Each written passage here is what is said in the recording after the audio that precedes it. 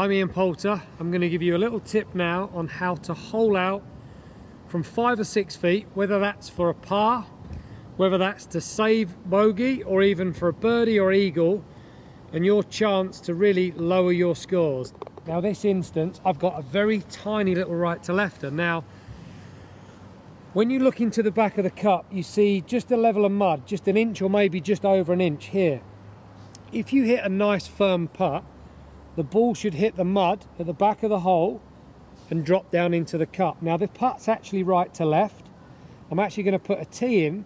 That's my visual marker point on where I actually want to look when I'm aiming this putt. And I really want to focus on the tee peg and I want to make a nice solid stroke. I want the pace firm but not too firm where it hits the mud and then drops into the hole. So five foot putt.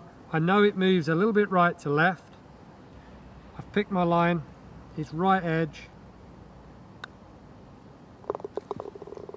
Hit it in at a good pace. You should be able to focus on the area, the tee peg, or a tiny bit of sand in the back of the cup be confident and hit a good solid stroke.